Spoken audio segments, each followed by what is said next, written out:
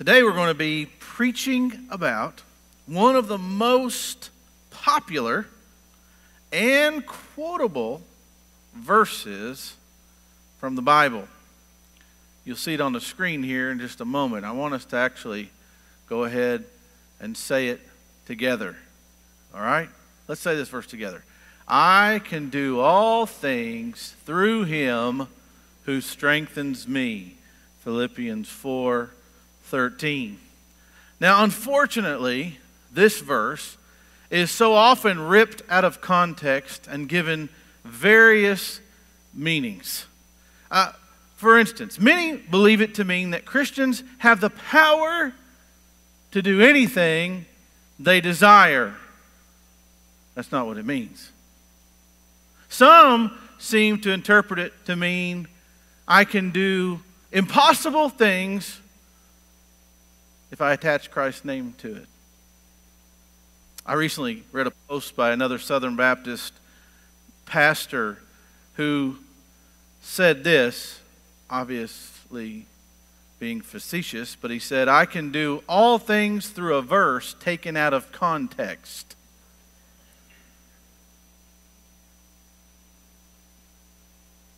Well, I hope we can at least come to the conclusion that Paul certainly doesn't mean that we have the license to sin.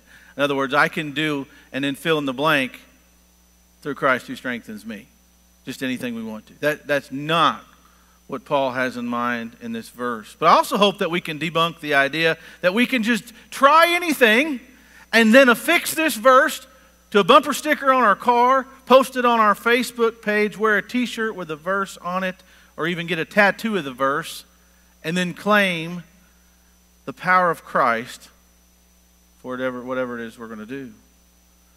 We need to understand this verse in its context and then apply it to our lives. So we're in Philippians. I want you to turn there because we will be looking at the context, verses preceding Philippians 4:13 and on the other side of that verse as well.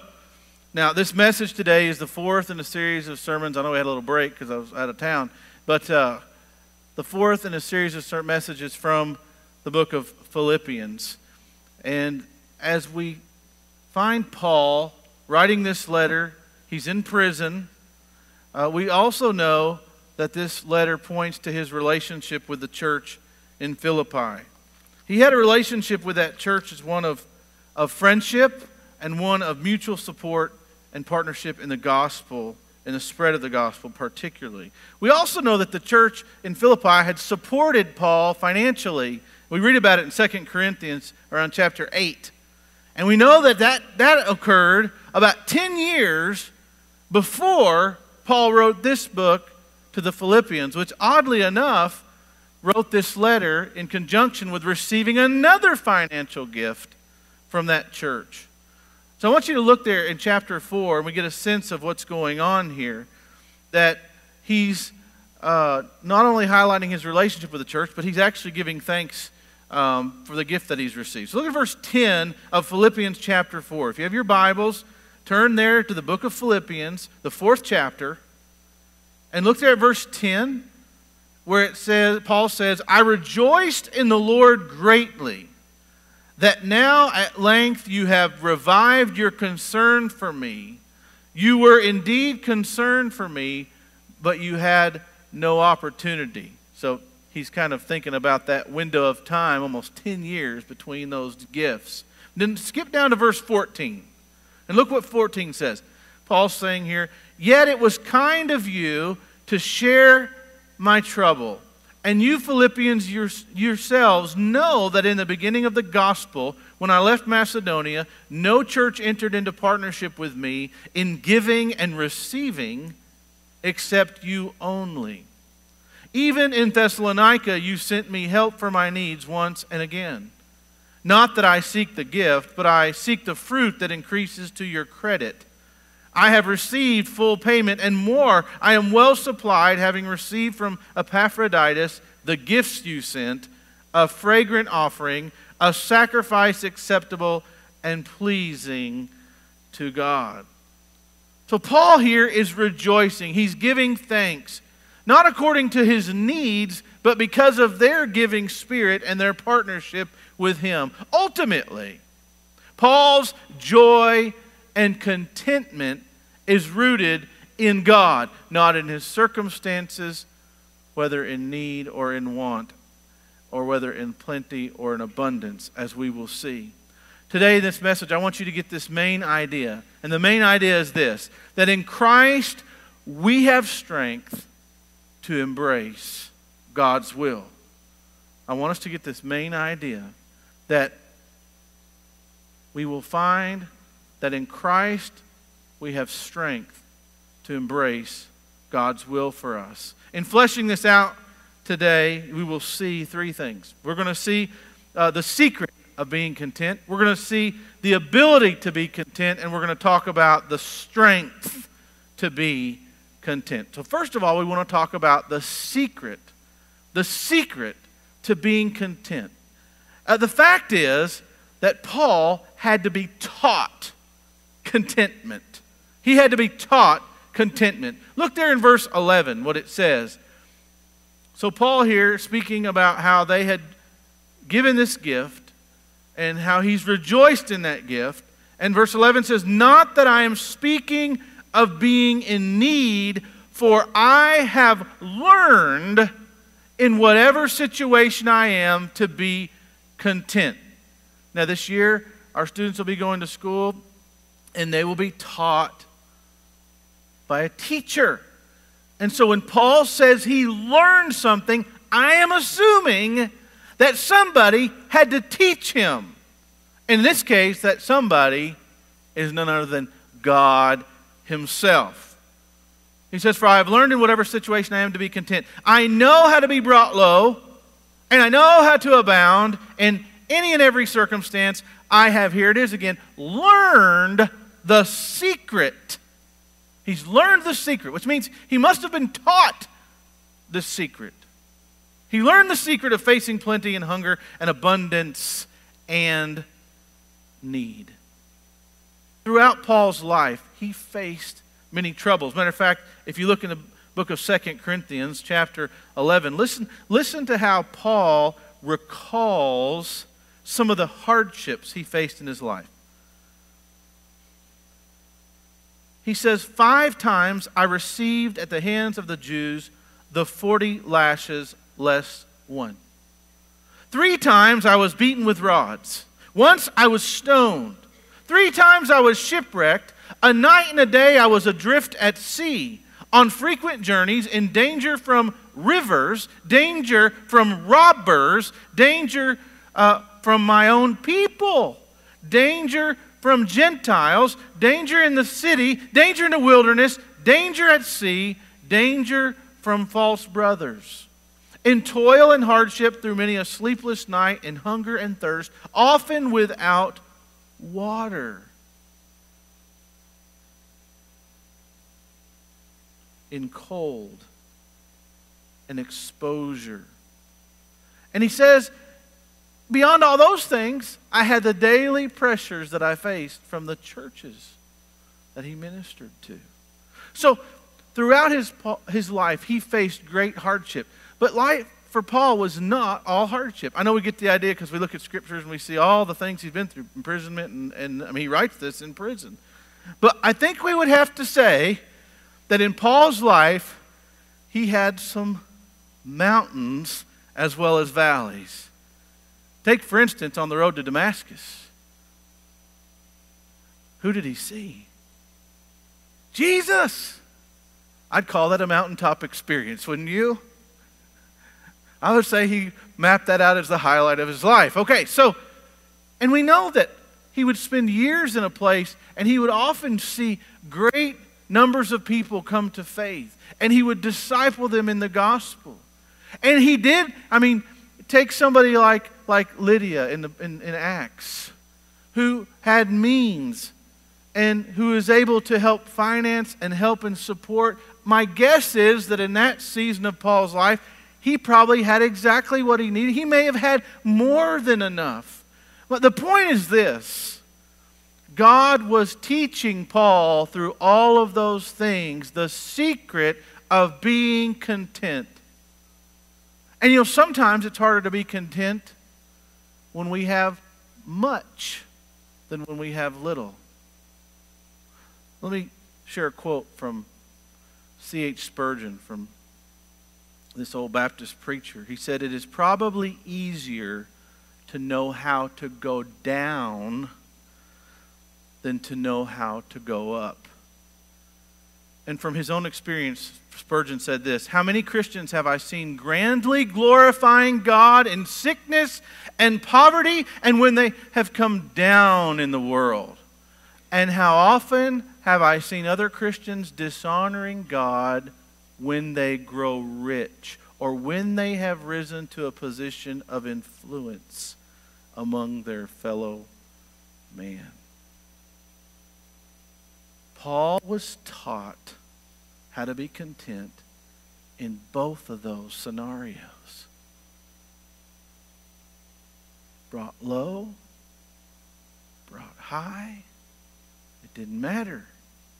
Contentment was not found in the lows or the highs or anything in between. God taught Paul that circumstances were not to determine Paul's contentment and joy. So Paul says there when he's talking to those Philippians, and, and for some who have read this, they think, well, this is kind of smug of Paul, right? I mean, he gets this gift. Epaphroditus, I mean, just think about it. Epaphroditus brings him this gift. And Paul's saying, thank you, but I really didn't need it. How would you like to get a thank you note like that? Thank you for your gift. And I really didn't need it. I want you to know that I actually didn't need it at all. That's why, by the way, Paul goes back into this is a he digresses into this point. He's teaching, instructing them what he's been taught. Then he goes on to say, Yet it was kind of you to share in my trouble. He wants to understand. It's not that I'm uh, uh, ungrateful, I'm very grateful, but you need to understand that God has taught me that whether Epaphroditus brought me this financial gift or not, I would sit here in this prison cell and I would have contentment and joy in the Lord. Paul could have complained about his prison. He could have listed his needs. Thank you for your gift. Now, let me give you three other things that I could use while I'm here in prison. That's not what he did. Paul's concern was not for his temporary comfort, but for their eternal good and God's eternal glory. Paul learned the secret of being content because he was in God's school of contentment. The secret of contentment must be taught. It must be taught. This week and in the following weeks, our children will go back to school. I wonder how many of you who are adults, it'd be interesting to ask you guys, how many of you liked school? Did you enjoy school? Yeah, some of you are like, I see some of this and see some of that. No.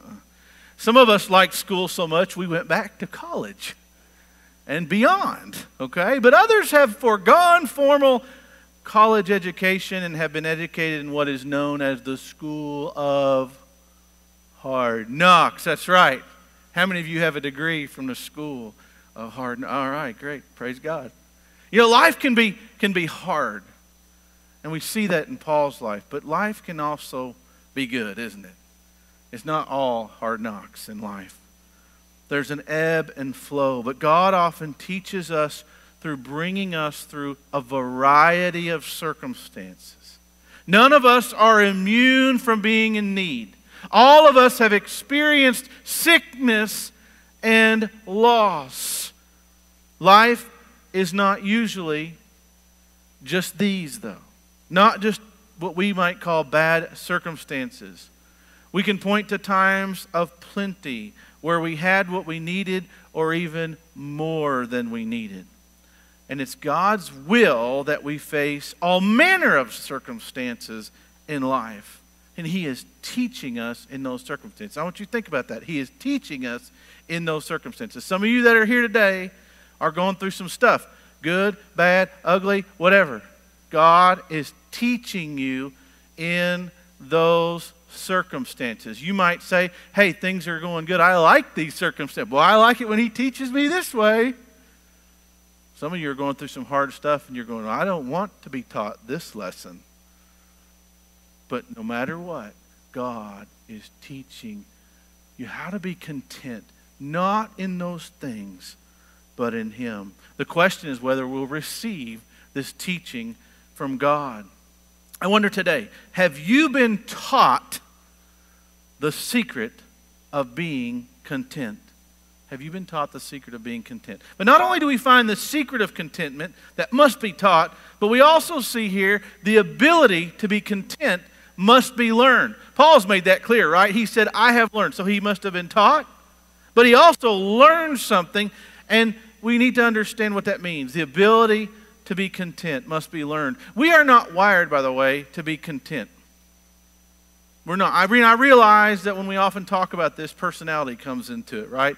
You know, some people tend to be glass half full, and other people tend to be glass half empty. Our personality kind of comes into play with how we see things in life and how they come at us. But this is not really what Paul's talking about. He's not talking about our personality traits and our own ability to be content. Paul says here, I can do.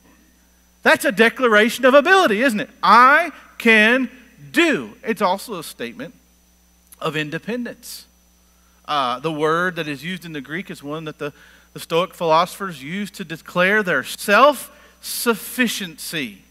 And Paul's saying, I can do. We are not to be dependent on our circumstances. Our joy and contentment is not to be tied to our circumstances, whether pleasant or difficult. When it comes to being content as Christians. So, Paul is speaking of ability. I can do. But what is it that we need to learn to do? I can do all things through Christ. I can do all things through Him who strengthens me. Paul is saying here, I am able to endure hardship without anxiety. I am able to receive earthly gain without pride. I am able to have joy and contentment when I have all that I need. And I am able to have joy and contentment when it doesn't seem like I have anything that I need.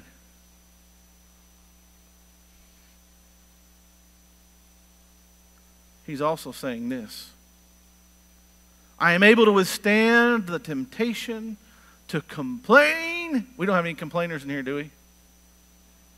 I am going to I am able to withstand the temptation to complain in sickness and in poverty and whatever need I may have. And I am able to withstand the temptation to boast when I have more than enough. When I'm standing on the mountaintop. Ultimately, the ability is our faith. I can do all things through him who gives me strength. It is our faith. The doing here is trusting Christ completely in all situations. When we are not content and do not have joy, guess what? It's a faith problem that we have. It's a faith problem. Have you learned what it means to be content? Have you learned what it means to know how to be content?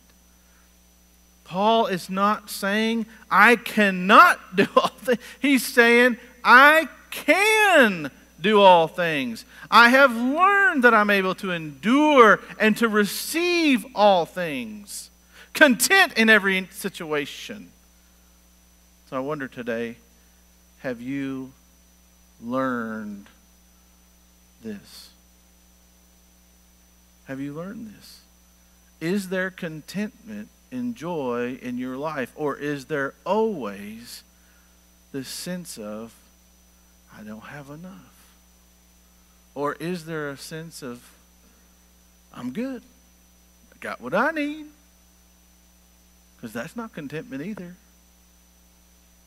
Paul had mastered the art according to Charles Spurgeon. Paul had mastered the art of being hungry without murmuring, the art of being full without boasting, the art of suffering without impatience, the art of abounding without setting his affection on worldly things. See, we have to learn. We have to learn how to be content. The ability to be content is not something hardwired into us. We have to learn it. It comes only in Christ. And that brings us to the third, the third part of this equation. The strength to be content must be received. So, see, we're being taught something through life, through our circumstances, good, bad, and ugly, all in between. We're being taught something. And in that, we have to learn something. We have to learn that we are able to do, to endure, to go through, to step through, to accomplish the things that God lays in front of us. But we must understand this last thing the strength to be content must be received. When Paul speaks of our ability, he's not making a statement about our ability to do things on our own.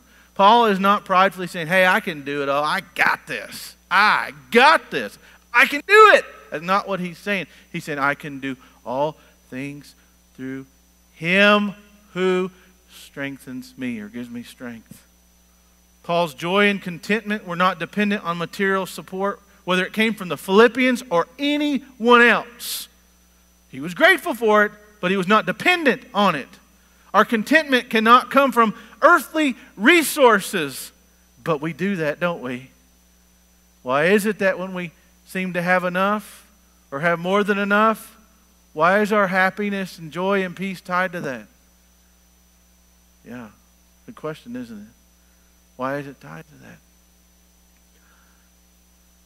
Our contentment cannot come from these earthly resources. Some of you may say, yeah, well, Paul was a very strong man. And some of you have endured a lot of things, maybe sickness, maybe loss, and you've done it through internal, we'd call internal fortitude. You're just somebody who you just bear through it. But that's not, is that what Paul's saying? No, he's not saying that. He's not saying that his contentment came because he was uh, a strong person. Our contentment cannot come from these, but it must come from Christ's power and presence. Pressure from without can only be faced by having Christ's power within. This is why, I mean, the gospel is the power of God. I mean, unto salvation. I mean, in our culture today, we are so driven by trying to meet this expectation we have of what is the American dream of being secure and safe and having everything a certain way. We work our entire lives to try to reach this thing. But the gospel says, fooey on that thing. That thing you're trying to get, it's just passing by. And if you put all your all your joy and contentment in having that thing, whatever it is, you will never be satisfied. You see, Paul was satisfied in Jesus. And the gospel it declares to us that in our own sinful nature, we come into this world and we're not wired to do things God's way, to want things God's way. We're wired to want things our own way. So that when we're a little child, we don't get our way, what do we do? Right?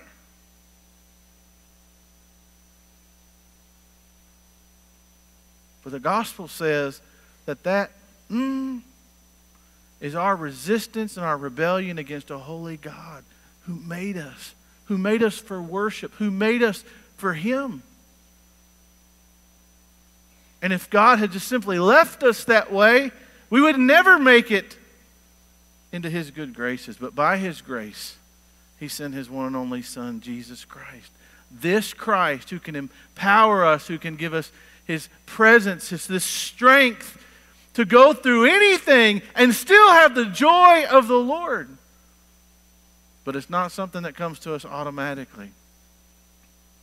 Listen here this salvation that Christ brings to us is something that we must receive by faith. And so if you're here today and you say, Well, I'd really like to be content and I'd really like to know joy, but the fact of the matter is that without Christ, it's impossible to have that contentment and joy. And if you're here today and you don't know the Lord Jesus Christ, I would say, come to faith in Christ. Turn to Him before it's too late. Believe on the Lord Jesus Christ. Wash your sins away. He'll make you new through and through, from the inside out, and He'll begin to teach you the secret of contentment, and you'll learn the secret of contentment that you are able, through the strength and power of Christ, to do and endure all things for the name and fame of the Lord Jesus Christ. See, Paul says it's Christ who gives him strength. And by the way, the force in the original language is the idea that, it's not that, okay, Paul gets converted and he sees he receives this big boost of strength and, and that's, that strength will do him through the end of his life. No, the idea here is, is that Christ will continually give him strength. I can do all things through Christ or through him who gives me strength. It's ongoing. It's an ongoing work of receiving God's gift of strength that gives us or enables us to be content in every situation. The context specifically points to material lack or material gain, but the principle extends further into the reaches of our everyday life. So, when we say, I can do all things through Christ who gives me strength. It certainly means that if you're having financial gain or financial loss, you can face all of that in the power of Christ for the glory of God. But we can extend, extend it into our everyday lives. Whatever situation we find ourselves in, uh, whether with little or much, whether we are in hardship or prosperity, the secret to, con- to contentment is bound up in the continual strength that Christ gives to those who are trusting in Him. So it's kind of a strange thing here. Paul is saying, I've learned to be independent by being dependent on Christ. Independent from my circumstances by being dependent on the Lord Jesus Christ. You know, it's not easy to be dependent on someone, is it? Most of us don't like that. We like to be able to say, I can, I can do this, right? I remember several years back, um, around the year 2006 or 7, my father developed a terminal illness called, it's a, it's a long word, so hang with me here It's called idiopathic pulmonary fibrosis. Okay, it's the hardening of, of, of the lungs. And a strange disease that my father got because he never did smoke in his life. He didn't wasn't around chemicals that normally would cause somebody to get this condition. But my father, he developed this condition, and it was terminal. And I, so I watched my father go. He was 56 at the time, I think. Uh, watched him go from being able to do pretty much everything to where he couldn't do hardly anything. I mean, he was dependent on oxygen all the time. He had to have oxygen with him. He became very dependent on my mother. I mean, she had to care for him. It's hard to watch someone go from being independent to being dependent. But here's the deal in the Christian life. If you really want to be independent of the circumstances that are around you, which tend to change all the time, don't they? Then we have to learn to be dependent, dependent on the Lord Jesus Christ. It's His strength that makes the I can do all things possible. His strength, not our strength. So I wonder today are you living in the strength of Christ? The clearest evidence of this is when we are no longer finding the basis for our joy and contentment in people, in things, but in Christ alone. So, what's the source of your contentment? Is it knowing Christ? Is it following Christ? Is it loving Christ? Is it living for Christ? Or is it something else? Jesus said in the book of John, I am the vine, you are the branches. He who abides in me and I in him bears much fruit. For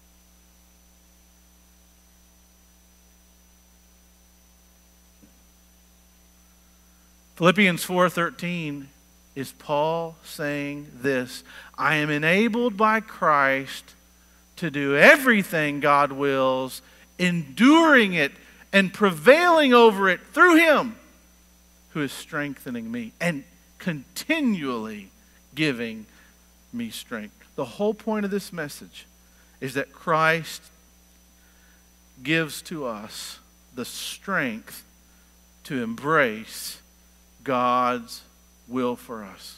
Because ultimately, whatever situation we find ourselves in, we must receive it as from the Lord.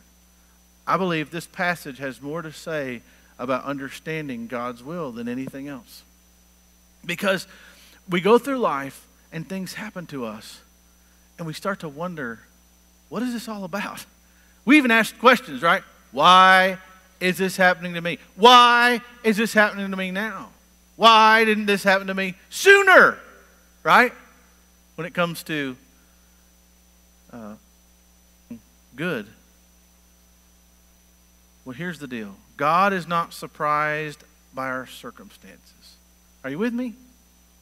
God is not surprised by our circumstances. Your life today, your life five years ago, your life five, uh, 10 years ago is a part of God's plan. And our future's in God's hand. And today you may be here and you may be facing the consequences of poor decisions, or maybe even decisions that were made when you were trying to be content with things and people other than Christ. God is at work in that. He's teaching you. Maybe you're in a season of your life that feels pretty carefree. You might say, Well, you know what? I have pretty much everything I need. Sometimes I have more than what I need. I can help other people. Well, praise God for that. But if your contentment is in that not in God, there's a problem.